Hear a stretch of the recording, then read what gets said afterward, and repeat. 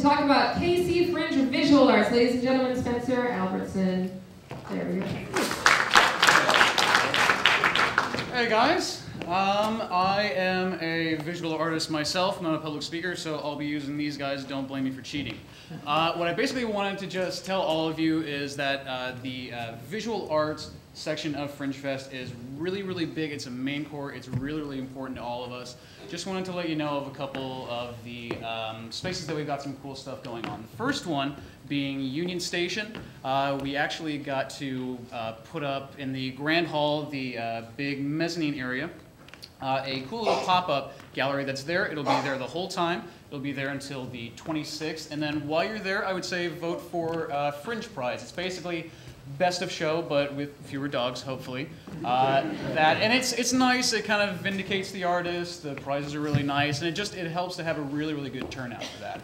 The second one, which we are really really excited about, uh, is actually something brand new that we came up with this year. It's going to be at Vulcan's Forge, which I believe is about at 39th and Broadway, something like that. Uh, it's what we're calling the Blue Show because we know the um, uh, uh, Fringe Festival kind of has a tag on it of the risque, kind of the blue from time to time, so we figured why not give blue art, uh, the kind of taboo stuff, its own show. So that will be actually going from the 19th until the 24th uh, with an opening gala on the 19th itself. So I, I really come out for that. It's absolutely fantastic, uh, but maybe that one don't bring the kids.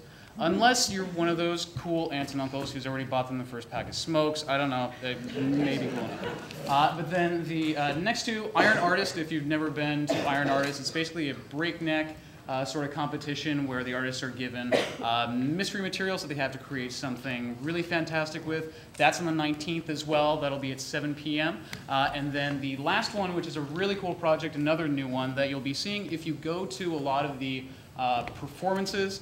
They will uh, have, if you look on the side, a bunch of mannequins. We started the mannequin project. That is actually a bunch of artists that have worked with plastic mannequins. They've disassembled them to create wonderful, beautiful, abstract pieces of work. So I hope to see you guys all out there. Thank you very, very much.